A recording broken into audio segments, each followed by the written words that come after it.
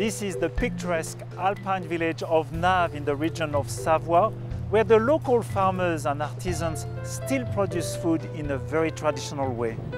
Early every morning and at the end of each day, local alpine farmer Max Crey skillfully milks his five cows by hand as he has done for the last 50 years. Apart from his own family consumption, he transforms his milk into a handful of delicious Tomme de Savoie cheeses that he matures for weeks in his cellars exactly in the same way as his parents and grandparents did. He also cures leg ham and shoulder ham that he dries to perfection in his loft at an altitude of 1300 meters. In the same village, the locals harvest dozens of wild foods, including many mushroom varieties.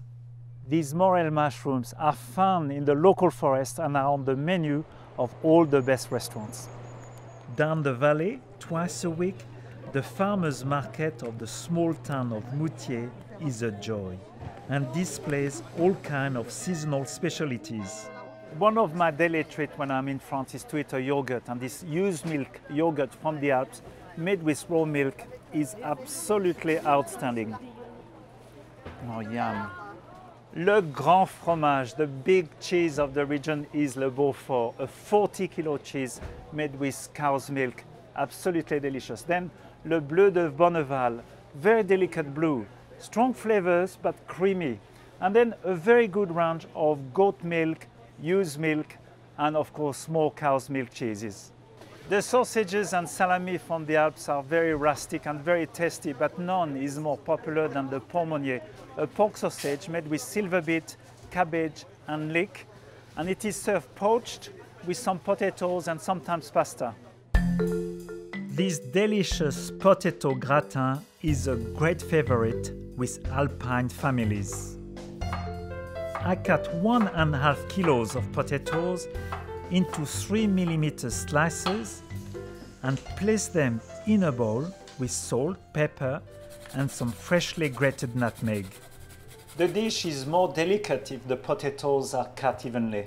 I generously batter an oven proof dish and place half the potatoes in the dish.